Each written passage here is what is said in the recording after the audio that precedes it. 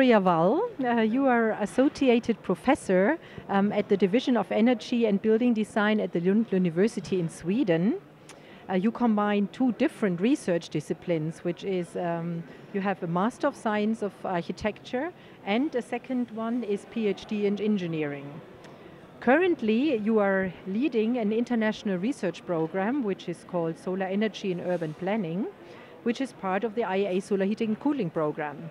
So, what uh, do urban planners need to know about solar energy? I think they need to know a lot because today they are not aware of the importance of, of planning for solar energy. From, for almost 2000 years, we used the, the right to light to plan our cities, and uh, we don't do that today. And uh, they need also, uh, for doing this, they need supporting tools and methods and uh, knowledge to, to work on this.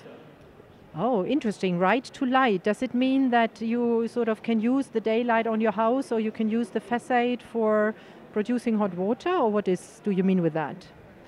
Yes, it is an old right um, that makes you uh, have the right to have solar access onto your building uh, so you can harvest solar energy both for energy, energy use and for uh, energy production and for daylighting. So, um, how can you implement such a right uh, to use energy on your house in a city? Well, if if you, for instance, want to, you have a house and you want to put uh, solar panels on it, on the facades and roof maybe, and and you invest in this, and you want to be sure that that there is no other building erected uh, across the street in one, one or two years. Uh, you, you want to have long-term uh, access to this solar. So you have the right to uh, have solar energy onto your building. That's the right to light. And it could also cover daylighting issues. So you have daylight into your building.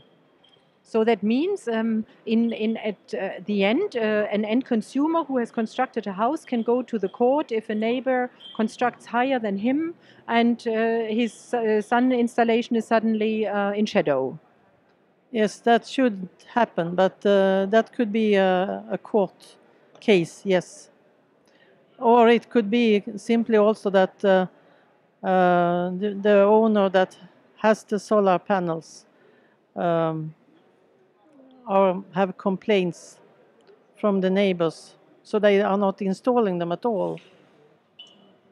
So you as a research program, how do you support uh, these urban planners in doing this kind of work, doing other kind of uh, like uh, planning of cities or new neighborhoods? Well, we work together with the municipalities. Uh, so all the participants in the project, we we are active in this uh, in local and regional urban cases planning. So, and we we help them to to develop methods and tools, and, and we also test them in in the cities and get feedback, and so we can develop them further. So it's a win-win situation, and that's what we call action research. Ah, so that means that um, you sort of develop tools while you uh, plan new uh, housing areas, sort of. Yes, so it's it's really real cases in cities. We we work together with the municipalities and with uh, all the all other actors involved in the planning phase.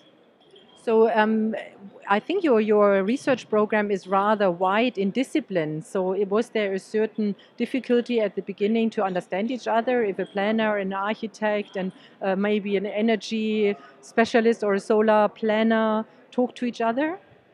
Well, we had a long discussion uh, how to define different words. Uh, so we had kind of a glossary to, to understand each other somehow, but it was not so so uh, problematic. No. And the last question: How about uh, research? I mean, uh, or the like in terms of education. I think that's a big issue probably because urban planners need to know already in their fundamental uh, trainings about these issues. Did you work in this field? Yes, we worked on educational issues and, and the dissemination, and there is really a lack of uh, courses and teaching related to solar energy in urban planning. There are courses for about technologies, solar technologies, uh, but not on the planning uh, of them in, in cities. So that's really a, a problem, and this has to be uh, worked on. And we have done some uh, developments to support teaching that will be presented on this conference. So you have a speech and you will present some of your work. Yes, and it will be uh, uh, reported on the website also. Okay, so your program is uh, part of the solar heating and cooling program, and your results are uh, always published on this website, iea-shc.org. Thank you very much for the interview. Thank you.